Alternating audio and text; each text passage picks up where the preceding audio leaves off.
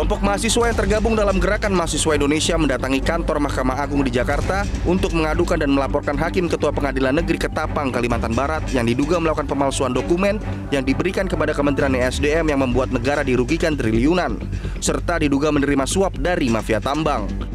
Andi Jurhum, perwakilan Aliansi Gerakan Mahasiswa Indonesia menyatakan kedatangan para mahasiswa untuk memberikan berkas dan bukti adanya keterlibatan Ketua Pengadilan Negeri Ketapang dan meminta kepada Badan Pengawasan Mahkamah Agung Republik Indonesia untuk memeriksa Hakim Ketua Pengadilan Negeri Ketapang, Kalimantan Barat atas kasus dugaan suap mafia hukum dan mafia tambang.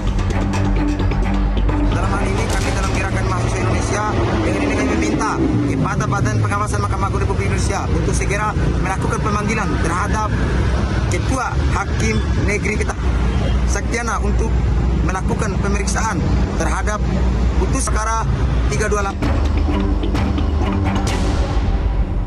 Jelajahi cara baru mendapatkan informasi. Download Metro TV Extend sekarang.